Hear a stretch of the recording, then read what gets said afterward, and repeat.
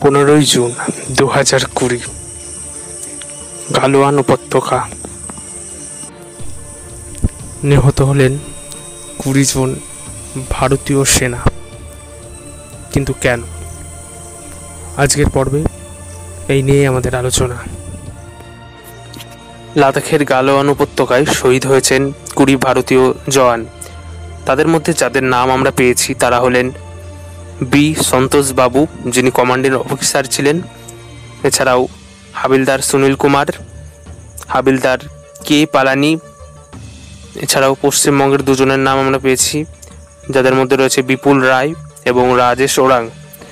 তাছাড়া বাদবাকি পনেরো প্রত্যেককেই জয়াটানন্দ শিল্পের পক্ষে থেকে শ্রদ্ধার্ঘ নিবেদন করলাম। এবং আজকে সমগ্র পর্বটি যুক্তি দ্বারা বিচার বিশ্লেষণ করা হয়েছে।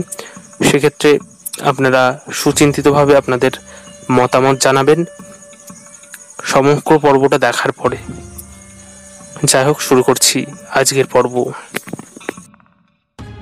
পনেরোই জুন দু হাজার কুড়ি, সোমবার। লাদাখের গালোয়ান উপত্যকা। চীনা সৈনিকের হাতে নিহত হলেন কুড়ি ভারতীয় জওয়ান। কিন্তু কেন এই ঘটনা? কি এর প্রেক্ষাপট? শুধু আজকের সমস্যা নয় এর প্রেক্ষাপট জানতে গেলে আমাদের পৌঁছে যেতে হবে আটান্ন বছর আগে, উনিশশো বাষট্টি খ্রিস্টাব্দ। এশিয়ার অন্যতম বৃহত্তর দুটি দেশ, চীন এবং ভারত। তাদের মধ্যে সম্পর্ক কেমন? উনিশশো চুয়ান্ন খ্রিস্টাব্দে বান্ধুং সম্মেলনের মধ্যে দিয়ে ভারত ও চীনের মধ্যে বন্ধুত্বপূর্ণ সম্পর্ক হয়। এই পর্যন্ত ঠিক ছিল, কিন্তু গোল বাঁধল তিব্বতকে নিয়ে। মজার ব্যাপার হলো দু হাজার কুড়ি এর ঘটনার প্রেক্ষাপট খুঁজতে যেমন উনিশশো বাষট্টি সালে পৌঁছতে হচ্ছে। তেমনি উনিশশো বাষট্টি সালের ভারত চীন সংঘাতেরও শিকড় কিন্তু আরও অনেক আগেই গ্রথিত আমরা এখন আরও বেশ কিছু বছর পিছিয়ে যাচ্ছি, উনিশশো চোদ্দ খ্রিস্টাব্দ। কি মনে হয় এই সালটা শুনলেই? প্রথম বিশ্বযুদ্ধ, তাই তো? সে তো গোটা পৃথিবীব্যাপী অনেক বড় ব্যাপার। আমরা অত দূর নয়, কেবল এশিয়ার দিকে নজর রাখব। এই গল্পের সূত্রপাত এশিয়ার তিনটে দেশের মধ্যে হওয়া এক বৈঠক থেকে। আজকের পর্বে আমরা এ সম্পর্কেই জানব। প্রথম বিশ্বযুদ্ধের প্রাককালে চীন ও তিব্বতের মধ্যে সংঘর্ষ চলেছিল। বেশ ভালো কথা, এশিয়ার দুটো দেশের মধ্যে সংঘর্ষ চলতেই পারে, কিন্তু তাতে সমস্যা কোথায়? আর সমস্যা থাকলেও ভারতের সমস্যা? হ্যাঁ আসল সমস্যার সূত্রপাত এখান থেকেই। বলা চলে, আজ একবিংশ শতাব্দীতে যে ভারত চীন দ্বন্দ্ব, তার বীজ বপন এই সময়ই হয়ে যায়। যাই হোক, আমরা এবার মূল বিষয়ে আসি। ভারত চীন তিব্বত বিতর্ক নিজেদের জড়াতে চেয়েছিল। কিন্তু একটা বিষয় কিন্তু সার্থব্য তখনকার ভারত পরাধীন ভারত, সুতরাং ভারতের রাজনৈতিক ক্ষমতা ব্রিটিশের হাতে। সুতরাং বৈদেশিক ও কূটনৈতিক নীতি নির্ধারণের ভারও তারাই সুতরাং চীন তিব্বত বিতর্কেও জড়াতে চেয়েছিল ব্রিটিশ সরকার। ব্রিটিশ পররাষ্ট্র দপ্তর বলেছিল চীন তিব্বত সম্পর্ক স্বাভাবিক করা এবং দুটি দেশের মধ্যে সুসম্পর্ক স্থাপনের জন্য সৎ দালাল এর ভূমিকা পালন করা ছাড়া ব্রিটিশ সরকারের আর কোনো উদ্দেশ্য নেই। আসলে ব্রিটিশ সাম্রাজ্যবাদীদের উদ্দেশ্য ছিল তিব্বতকে সন্তুষ্ট করে তার ভারতীয় সাম্রাজ্যের উত্তর সীমান্তকে নিজের ইচ্ছা অনুযায়ী সুবিন্যস্ত করা। সেই কারণেই উনিশশো চোদ্দ সালের মার্চ মাসে চীন, তিব্বত ও ভারতের ব্রিটিশ সরকারের তিন পক্ষ মিলে সিমলা সম্মেলন অনুষ্ঠিত হয়। সে সময় ভারত সরকারের পররাষ্ট্র সচিব ছিলেন স্যার হেনরি ম্যাকমোহন। কিন্তু এই সিমলা বৈঠকে গৃহীত নীতি চীন কোনোদিনও মেনে নেয়নি। ভারতের সঙ্গে উনিশশো চুয়ান্ন থেকে উনিশশো উনষাট অবধি বন্ধুত্ব থাকা অবস্থায় সেরকমভাবে কিছু আঁচ পাওয়া যায়নি, কিন্তু তারপর থেকেই সেটা প্রকট হতে লাগল। যখন দলাই লামা ও তার দলবল ভারতে আশ্রয় পেল, চীন তার উগ্রমূর্তি যথারীতি বার করে দিল। বন্ধুরা, এইভাবে কি করে একটি বন্ধু রাষ্ট্র, শত্রু রাষ্ট্র হতে পারে? তার চরমতম দৃষ্টান্ত কিন্তু চীন।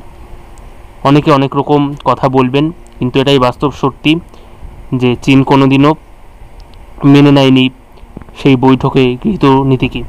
তবে এটাও ঠিক, বৈঠকে গৃহীত নীতিকে কিন্তু অনেকেই ভ্রান্ত নীতি বলেছেন। সেই সময়কার অনেক লেখায়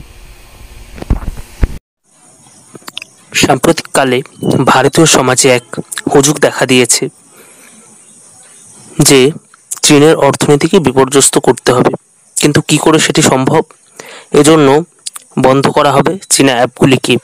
কেন্দ্রীয় গোয়েন্দা সংস্থা বাহান্নটি চীনা অ্যাপের নাম করেছে, যার মধ্যে অন্যতম হলো TikTok, Vigo video, Bigo Lite SHAREit Xender ইত্যাদি। এগুলি সরাসরি চীন থেকে নিয়ন্ত্রিত হয়। বেশ ভালো উদ্যোগ। এখন এই পদক্ষেপের মধ্যে বেশ কিছু সমস্যা রয়ে যায়। কিছু অ্যাপসকে ব্যান করে একটা দেশকে অর্থনৈতিকভাবে কোণঠাসা কি আদৌ সম্ভব?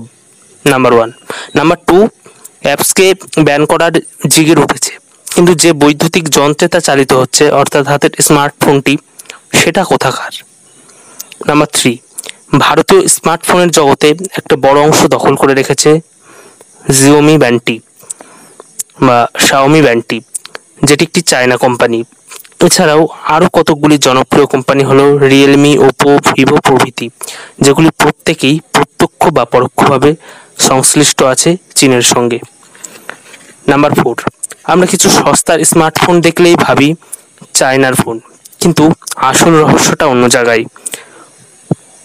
অনেক স্মার্টফোন কোম্পানি আছে, যারা বিভিন্ন জায়গা থেকে এলিমেন্ট কালেক্ট করে সেগুলি কম্প্যাক্ট করে একটা ফোন তৈরি করে।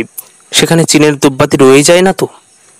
নাম্বার ফাইভ কেবল স্মার্টফোনেই তো আন্তর্জাতিক বাণিজ্য বা বৈদ্যুতিক জগৎ সীমিত নয়। আমাদের দৈনন্দিন ব্যবহারের টেলিভিশন সেট বা কম্পিউটারের অনেক যন্ত্রাংশও কিন্তু চীনেই তৈরি। নাম্বার সিক্স বাচ্চাদের খেলনা, গৃহস্থালির টুকিটাকি জিনিসপত্রেও রয়ে যাচ্ছে চীনের ছোঁয়া। নাম্বার সেভেন ভারতের বিদ্যুৎ পরিষেবা সরবরাহের ক্ষেত্রেও পরোক্ষে রয়ে যাচ্ছে চীনের ভূমিকা। নাম্বার এইট অনেক ওষুধ কোম্পানি সুলভ মূল্যে ওষুধ প্রদানের জন্য ওষুধ তৈরির কাঁচামাল চীন থেকেই সংগ্রহ করে। খুচরো পণ্যের ব্যবসায়ী সংগঠন ফেডারেশন অফ অল ইন্ডিয়া ব্যাপার মণ্ডলের সাধারণ সম্পাদক বিপিন বনসাল আমাদের জানাচ্ছেন, চীন থেকে বছরে সাত হাজার চারশো কোটি টাকার পণ্য আমদানি করে খুচরো ব্যবসায়ীরা। একবার ভাবুন বন্ধুরা, মাত্র খুচরো ব্যবসাতেই সাত হাজার চারশো কোটি টাকা আমদানি করা হচ্ছে। এ তো গেল ক্ষুদ্র শিল্পের কথা। বৃহৎ শিল্পেও কি চীনের উপর নির্ভরশীলতা নেই? এখনও গাড়ি তৈরির অনেক যন্ত্রাংশই চীন থেকে আমদানিকৃত। অর্থাৎ একটা বিষয় স্পষ্টতই প্রতিভাত যে চীনকে অর্থনৈতিকভাবে কোণঠাসা করতে বা তার অর্থনৈতিক শক্তিকে হ্রাস করতে চাইলে কেবল কয়েকটি মোবাইল অ্যাপসে সীমিত থাকলে চলবে না। হতে হবে স্বনির্ভর, অর্থাৎ দেশীয় শিল্প গড়ে তুলতে হবে। আর বর্তমান পরিস্থিতিতে ভারতের হাতে কিন্তু সে সুযোগও রয়েছে। অতিমানি সংক্রমণের কারণে অনেক বাণিজ্যিক সংস্থায় চীন থেকে বেরিয়ে আসছে বা চীন থেকে বিমুখ হচ্ছে তারা। তাদের অধিকাংশ চলে যাচ্ছে ভিয়েতনাম অথবা কম্বোডিয়া, থাইল্যান্ড, ইন্দোনেশিয়া প্রভৃতি দেশে। যারা ভিয়েতনাম বা দক্ষিণ আফ্রিকার দেশগুলিতে যেতে চাইছে না, তাদের মূল আকর্ষণীয় জায়গা বা সম্ভাবনা কিন্তু রয়ে যাচ্ছে দক্ষিণ এশিয়ার দেশগুলিতে। এই ক্ষেত্রে দক্ষিণ এশিয়ার দুটি দেশের কথা আমরা অবশ্যই বলতে পারি, একটি ভারত হলে আর একটি বাংলাদেশ।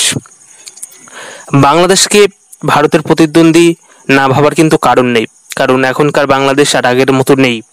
তারা যথেষ্ট সক্রিয় এবং বাণিজ্য বা সম্ভাবনার একটি ক্ষেত্র গড়ে তুলেছে। কারণ বস্ত্রশিল্পের ক্ষেত্রে কিন্তু চীনের পরেই রপ্তানিতে রয়েছে বাংলাদেশের নাম। সেখানে ভারতও কিন্তু একটি সম্ভাব্য জায়গা করতে পারে। ভারতের ক্ষেত্রকে আগে স্থির করতে হবে। সেক্ষেত্রে ওষুধ তৈরি বা প্রযুক্তিবিদ্যায় ভারত এগোতে পারে। তবে সেক্ষেত্রে কতগুলি বিষয় মাথায় রাখতে হবে। প্রথমত, জমি অধিগ্রহণ সুনিশ্চিত করতে হবে। কারণ আমরা জানি, জমি অধিগ্রহণ নিয়ে ভারতে বহুবার বহু রকম ঝামেলা হয়েছে। ভারত কেন? পশ্চিমবঙ্গেও ঝামেলার কথা আমাদের আর বলার অপেক্ষা রাখে না। নাম্বার টু রাস্তা জল এবং বিদ্যুতের ব্যবস্থা করতে হবে। এটা মনে করার কোনো কারণ নেই, শুধু জমি দিলেই সব দায়িত্ব শেষ হয়ে যায়। একটা শিল্পকে দাঁড় করাতে গেলে কিন্তু আরও অনেক পরিষেবার প্রয়োজন হয়। ভালো রাস্তাঘাট, জল সরবরাহ এবং বিদ্যুৎ ব্যবস্থা, যেগুলো কিন্তু আমাদের দেশে খুবই ঘাটতি রয়েছে বা সেইভাবে উন্নতি এখনও হয়নি। নাম্বার থ্রি, কর ছাড়। সব সংস্থাই শুরুর দিকে আশা করে যে তারা যে কারণে ব্যবসা বা শিল্প আনছে, তারা মানুষকে একটা লং টার্ম সুবিধা দিতে চায় স্থানীয় মানুষদের বা দীর্ঘমেয়াদী সুবিধার জন্য। সেক্ষেত্রে তারা লোকাল বডি বা স্থানীয় প্রশাসনের কাছে কিন্তু কর ছাড়া আশা করে। তবে ভারতের ক্ষেত্রে সেটা সবসময় দেওয়া সম্ভব হয় না। এই কারণে অনেক শিল্প পিছিয়ে রয়েছে। যদি এই দিকটা দেখা হয়, অবশ্যই ভারতের শিল্পের উন্নতি ঘটবে। নাম্বার ফোর দশ বছর মেয়াদি পরিকল্পনা করতে হবে। ভারতকে দশ বছর পরে কোন জায়গায় দেখতে চাই, সেটা এখন থেকে দেখতে হবে। ভারত কোন অবস্থানে আগামীতে দাঁড়াতে চাই, সেই লক্ষ্য স্থির করতে হবে। এছাড়া একটি সব থেকে বড় কারণ, একটি সুস্থ পরিবেশ প্রয়োজন। কোনো রকম বাধা বিপত্তি বা বিঘ্নতা যেখানে থাকবে না। কারণ দেখা যায়, কোম্পানিগুলিকে অনেক ক্ষেত্রেই বিভিন্ন রাজনৈতিক বা অন্যান্য ইস্যুতে জড়াতে হচ্ছে। তাদের তো এটা লক্ষ্য নয়, তাদের মূল লক্ষ্য কিন্তু মুনাফা অর্জন করা। দিনের শেষে তাদের গোল থাকে কতটা মুনাফা হলো, তবুও তাদেরকে বিভিন্ন রকম সমস্যায় জড়াতে হয়। এক্ষেত্রে তাদের সম্ভাবনাটা বিনষ্ট হওয়ার একটা আশঙ্কা থেকেই যায়। এই জায়গাগুলোকে সুনিশ্চিত করতে হবে, তাহলেই ভারত কিন্তু স্বয়ম্বর হতে পারবে এবং প্রকৃত লড়াইটা সেখান থেকেই করতে পারবে। কারণ শুধু জাতীয়তাবাদের আবেগে ওইভাবে ভাসলে চলবে না। সব কিছু যুক্তি দিয়ে বিচার বিশ্লেষণ করতে হবে এবং সেই মতো দেশের সমস্ত নাগরিককে এবং প্রশাসনকেও এগিয়ে আসতে হবে। তাহলে আমরা একটা সুন্দর, সুস্থ সমাজ করতে পারব, একটি সুন্দর, সুস্থ দেশ করতে পারব এবং বহিঃশত্রুর আক্রমণের হাত থেকে নিজেদের রক্ষা করতে পারব। সবাই ভালো থাকবেন, সুস্থ থাকবেন। নিহত বা শহীদ হওয়া জওয়ানদের প্রতি আবারও সম্পূর্ণ শ্রদ্ধা জ্ঞাপন করলাম।